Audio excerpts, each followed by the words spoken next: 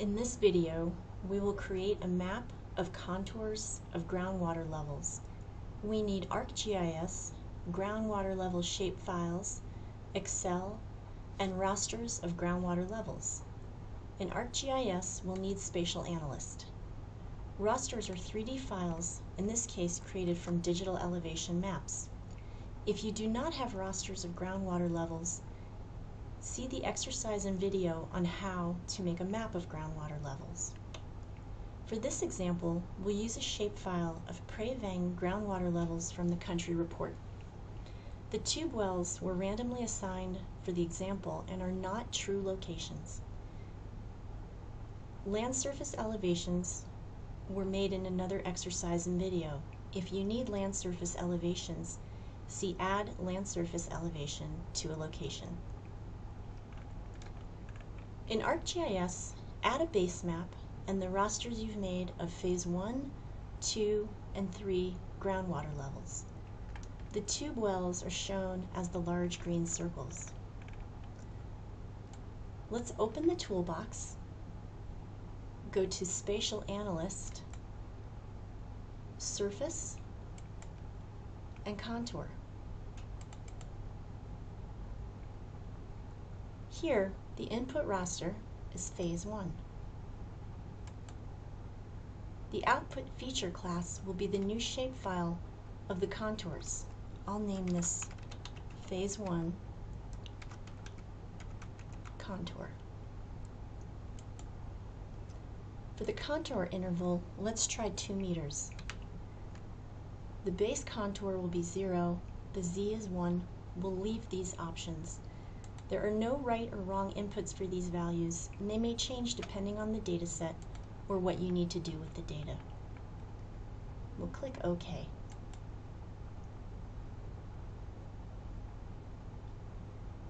Here are the contours for Phase 1.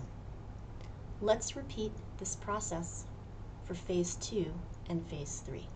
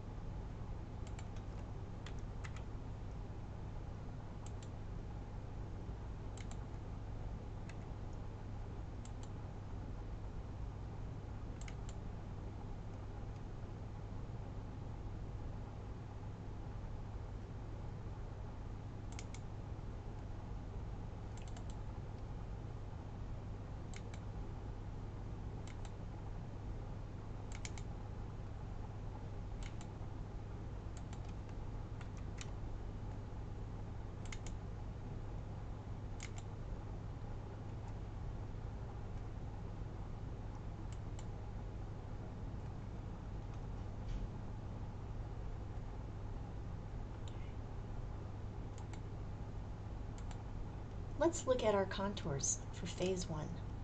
Right click, properties, categories,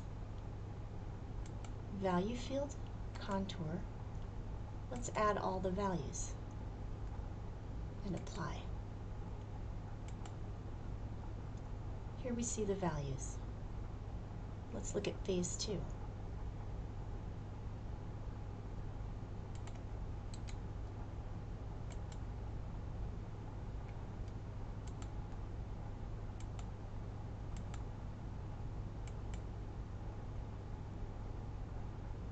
Here we see the scale has gone from 0 to 14.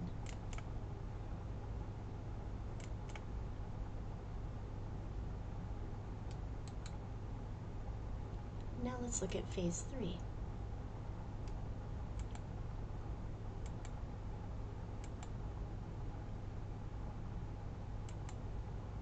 Here we see negative 2 to 16.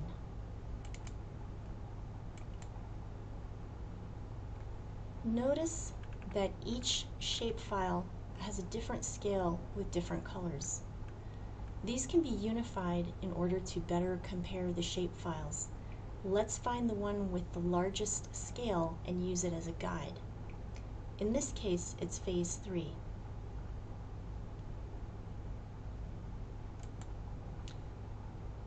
Let's turn these off.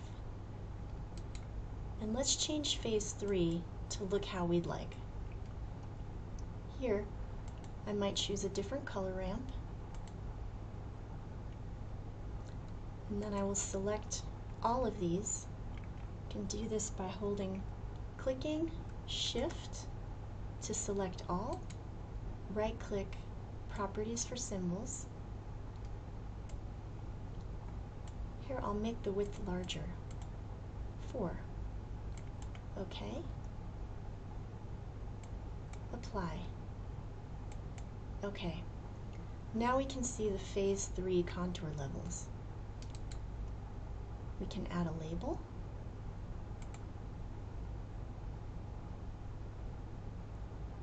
Here we can see 1 to 15.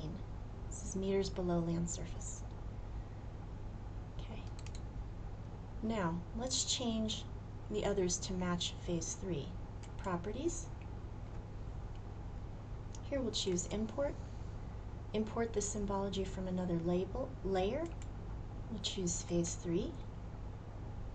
OK. Contour. OK. Apply.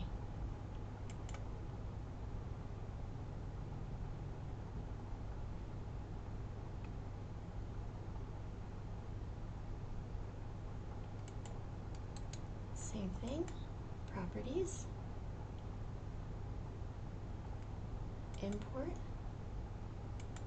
phase 3, OK, OK,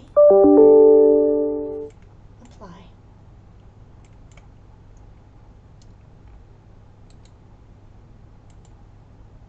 Now we can see the changes over time.